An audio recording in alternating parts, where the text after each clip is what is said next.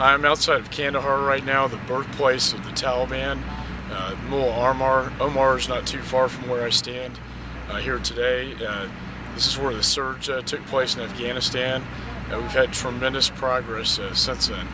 There's a bazaar not too far from here, shops, children running around, girls shopping for the first time ever, and going to school for the first time ever. We've seen tremendous progress here. And it's um, proud of these soldiers and what they've accomplished here today.